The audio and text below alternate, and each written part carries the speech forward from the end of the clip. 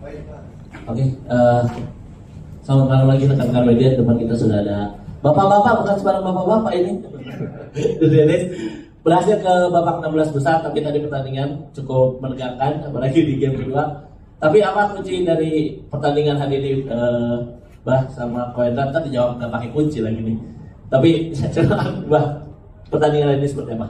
Ya pasti kita mengucap syukur alhamdulillah udah bisa menang hari ini. Partai nggak mudah karena lawan bermain cukup bagus dan kita juga di set pertama sampai set kedua pun masih belum bisa ngeluarin kemampuan. Dan untuk mungkin ya kita di saat-saat terakhir mungkin harus lebih tenang ya. Harus kita percaya dengan kemampuan kita juga. Alhamdulillah bisa melewati. Seberapa besar kok eh, dukungan Istora untuk kebangkitan dari Ba- eh, Bang Hasan sama Koendra sendiri di pertandingan hari ini? ya cukup besar ya karena kita bermain di tuan rumah jadi tadi udah ketinggalan saya kedua berapa tuh?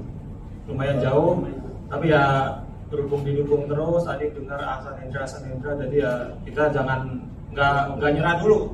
Jadi terus berusaha dan ya puji Tuhan bisa menang. Oke, langsung ke teman-teman media ada yang bertanya silakan Mas. Eh, tadi kan set satu sempat tertinggal tuh akhirnya bisa comeback di set kedua gitu.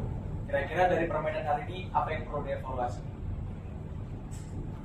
Ya mungkin apa harus lebih tenang kayak Hasan tadi terus juga di sini harus pegang depannya sih karena lapangannya sedikit angin juga ya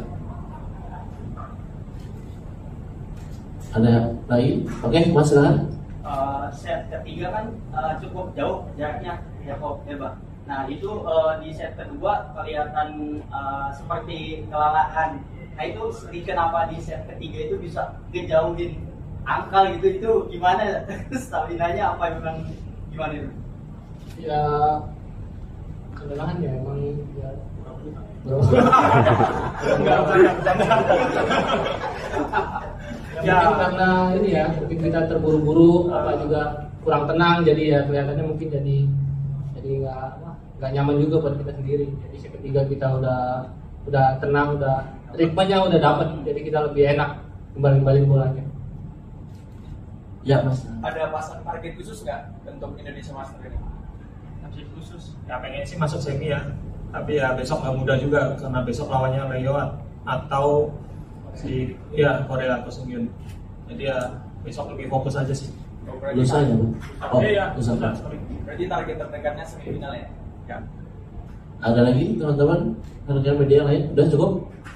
Cukup ya, nanti kita ketemu lagi hari Kamis sama Baba sama Koendra. Terima kasih. Eh, mau foto dulu silahkan. Oh, eh, Mbak. Boleh minta izin untuk rekan-rekan media mengambil gambar.